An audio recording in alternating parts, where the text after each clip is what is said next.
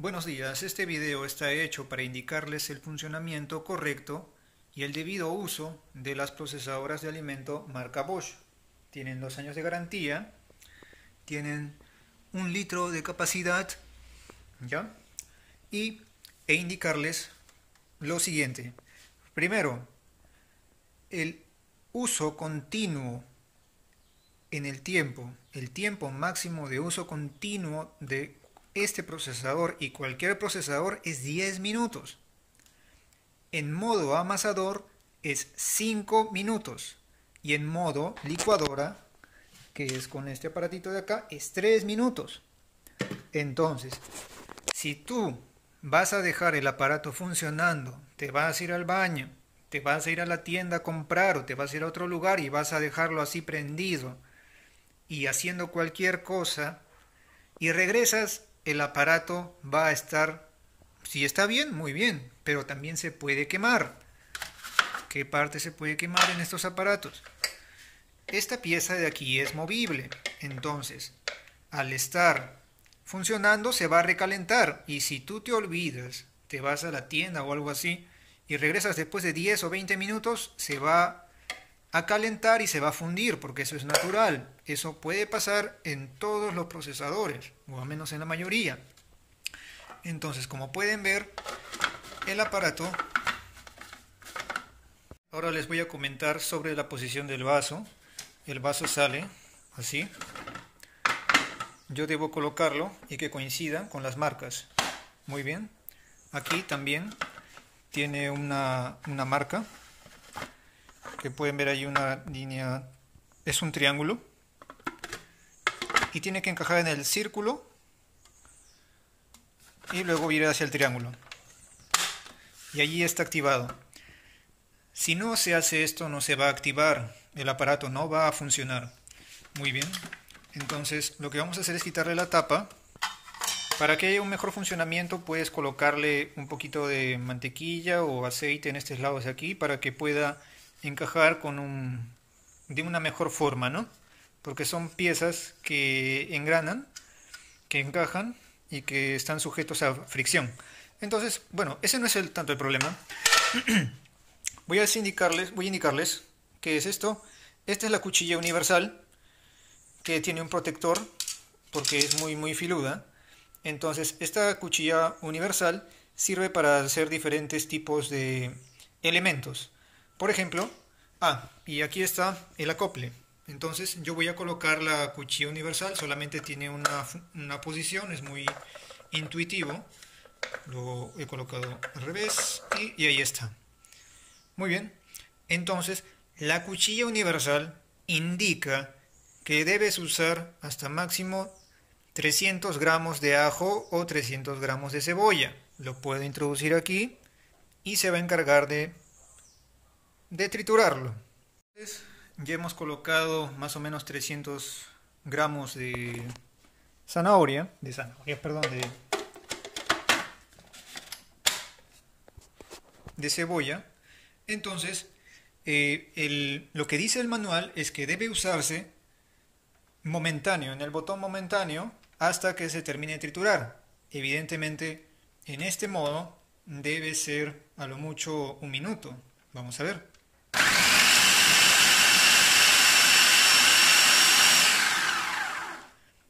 Bueno, hemos visto que se ha atorado, pero vamos a colocarlo bien.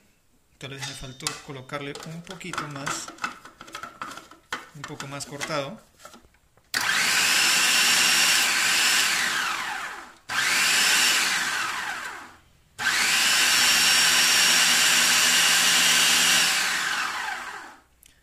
Bueno, allí está para poder realizar la, la salsa para hacer las comidas. Ahí está bien picado. Qué rico. Bueno, entonces, si yo quisiera hacer una ensalada con eso, yo tendría que usar otro accesorio, que es este accesorio de aquí. Antes de eso, indicarles que yo puedo usar este accesorio picador universal para hacer masa, ¿ya?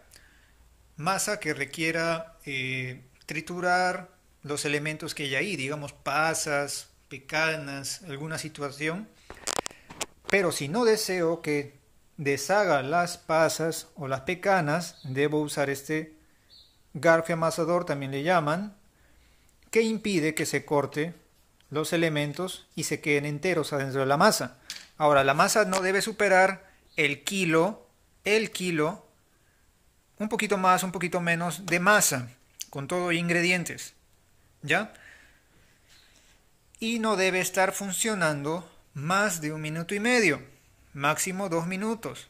Bueno, el manual lo dice así, pero en el modo de mayor velocidad, a lo mucho debe estar cinco minutos.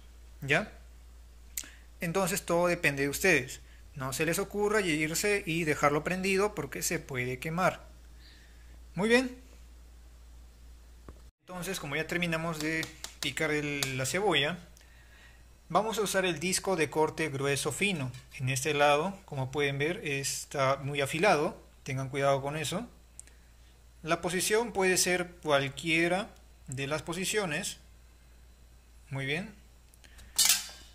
En este caso, acá es grueso y acá es fino. Muy bien. Entonces vamos a usar el corte grueso, ya, primero para probar. Entonces de aquí movemos para allá, que estaba puesto, ya, ahora puedo abrirlo. Yo voy a, a quitar el accesorio del garfio, ya. Luego voy a colocar en el lado grueso y vamos a probar. Allí está, solo tiene una posición. Y voy a colocar la tapa. Muy bien, ya está colocada la tapa.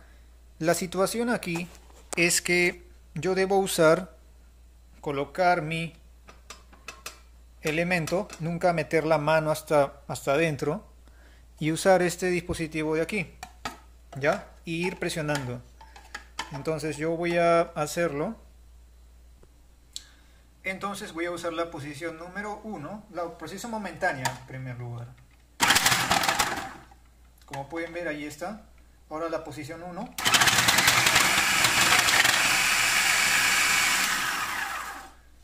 Como pueden observar, ya hizo el triturado.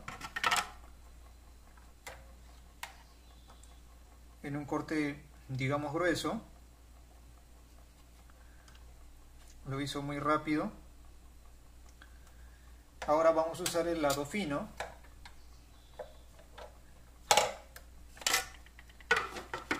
¿En qué nos sirve ese corte grueso? Por ejemplo, para hacer estofado, nos sirve. Para hacer el, por ejemplo, el seco de pollo también. Bueno, si conocen el seco, bueno, el seco de pollo es un buen alimento muy delicioso, entonces voy a dejarlo en el momentáneo. En el número 1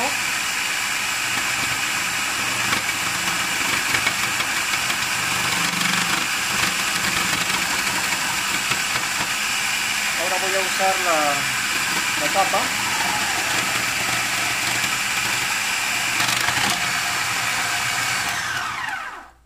Y ya está.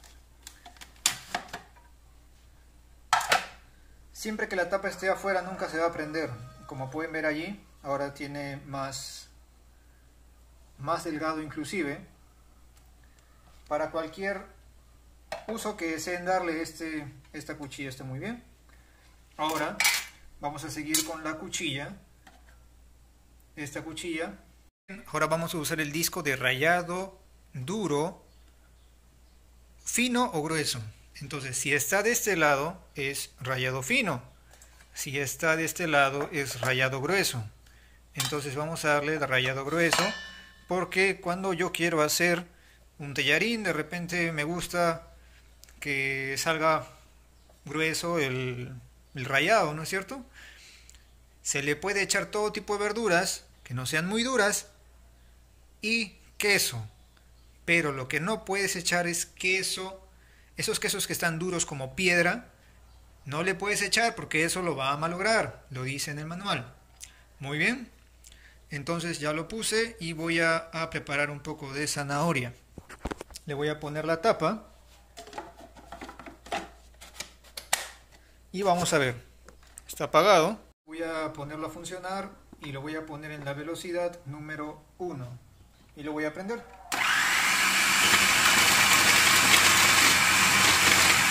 Luego voy a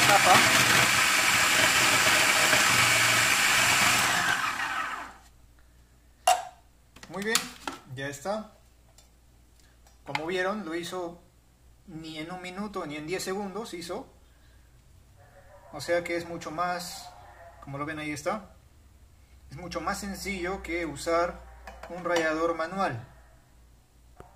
Es más sencillo que usar este rallador manual, que te demoras mucho tiempo. Entonces aquí puedes hacer tus ensaladas de rábano, tus ensaladas de, de zanahoria, también cebolla. Puedes usarlo muy sencillamente. Muy bien, entonces ya usamos dos tipos de disco. Tres tipos de disco ya usamos. Cuchilla, el garfio amasador, este es para masas, para hacer su queque, esas cosas. Esta cuchilla para triturar cualquier tipo de cosas, inclusive hielo. Hielo, pero nada de carne congelada, porque el hueso puede malograr la cuchilla. ¿Ya?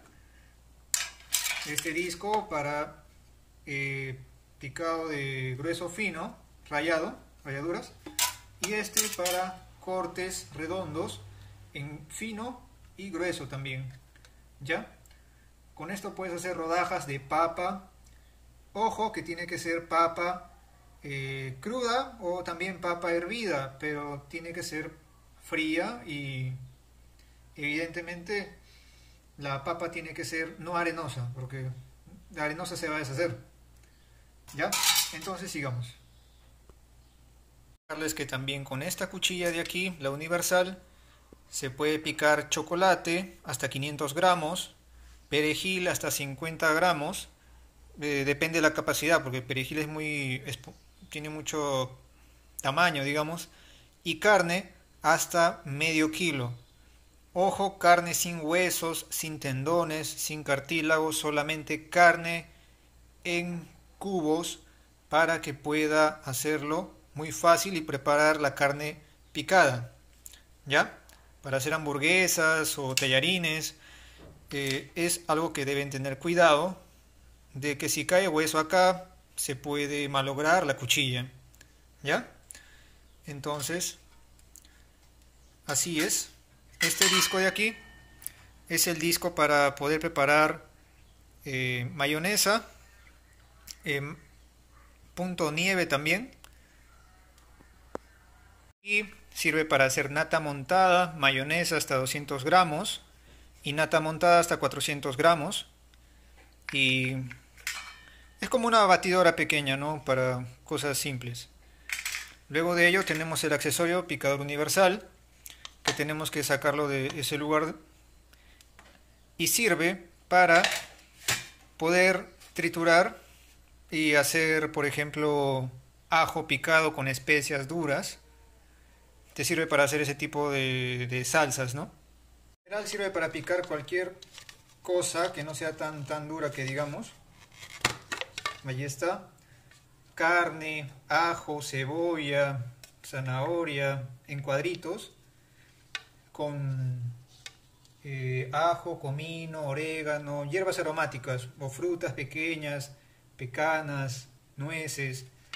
Para eso sirve este accesorio. También sirve para moler café para la cafetera. También muele el café, solamente tienes que agregarle toda la cantidad que desees y por uno o dos minutos, pero no más de dos minutos. Si tú dejas el aparato conectado más de cinco minutos, como no tiene un líquido que lo refrigere muy bien, porque no está diseñado para, bueno, está diseñado para que se metan líquidos. Pero si pones cosas secas y le dejas mucho tiempo, digamos, más de dos minutos, se puede sobrecalentar y puede generar alguna falla de derretimiento. Entonces, todos estos aparatos, este aparato está para que el usuario lo use en el momento que está conectado y funcionando. Entonces vamos a seguir con el otro accesorio que es la, la batidora. La batidora es simplemente como una licuadora, cualquier elemento que desees hacer que usas con una licuadora, puedes usarlo aquí. Evidentemente, puedes hacer tus jugos, todas tus las cosas que haces con una licuadora, pero máximo 3 minutos.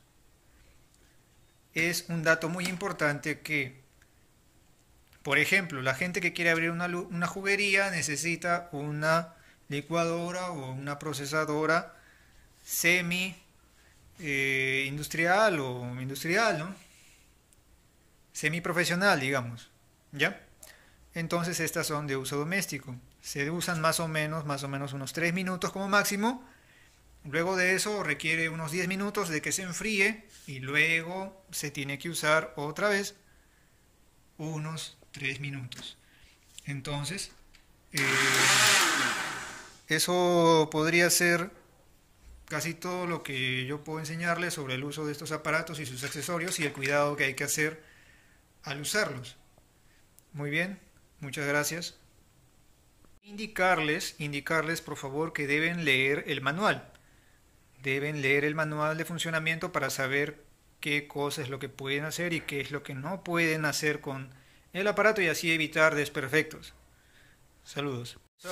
Eh, esta cuchilla, este accesorio para hacer clara de huevo. Bueno, en este caso voy a hacer una tortilla y vamos a batir los huevos. Cabe aclarar que se puede hacer mayonesa, hasta 200 gramos de mayonesa. Muy bien, lo prendemos.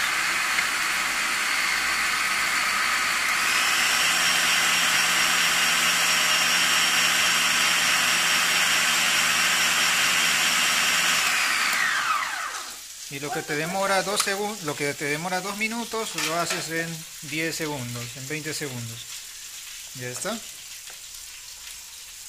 Ahora podemos hacer una tortilla. Si deseamos combinar los ingredientes podemos usar el garfio amasador y, e ir agregando poco a poco los elementos de la tortilla la zanahoria. Entonces voy, voy a ir agregando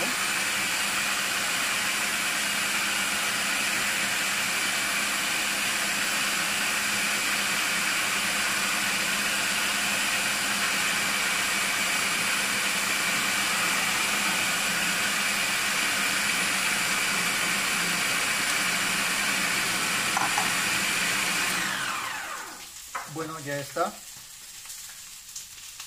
Ahora lo que vamos a preparar es la salsa, digamos. Estoy poniendo media cucharadita de sal con dos dientes de ajo y eh, orégano. Lo vamos a poner aquí.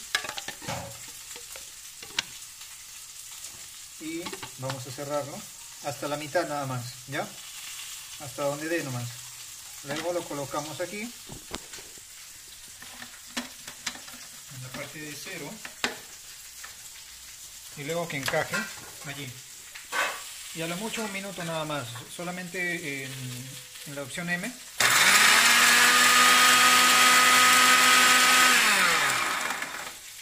Como pueden ver ya se hizo. Es muy rápido ya se hizo la salsa. Y este, este ajo que hemos preparado lo vamos a introducir en aquí y solamente